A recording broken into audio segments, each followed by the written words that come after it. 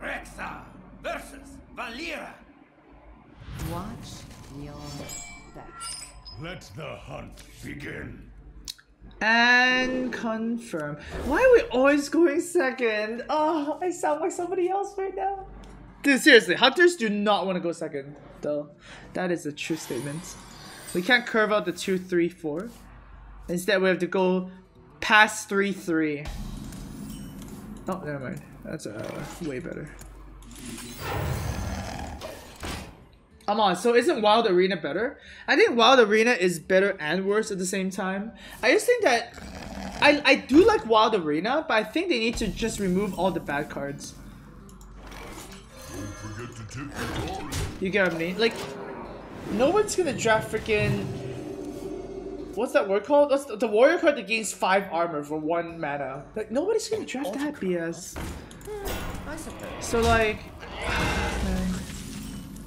I really think that they should have they should have a wild arena with ban list, and they just ban all the bad cards. I think that that'll make it really fun, right? Winners moves, empires fall. Empire's fall. That'll make it so much fun. We have the uh, hyena unleash combo as well, so that's good.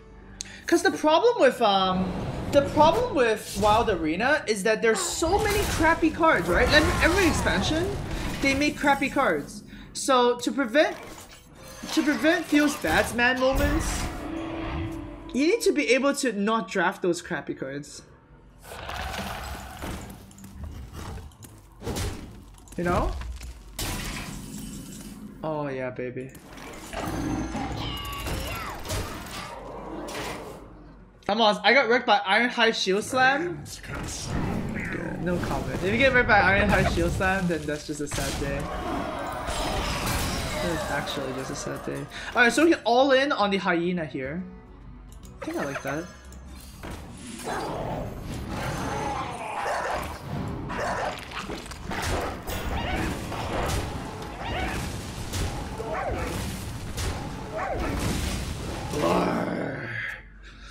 So we hit with the hyena, we win again. It's not like Rose have removal, right? Like, name a card that Rose can do to kill the hyena. I see Peach. I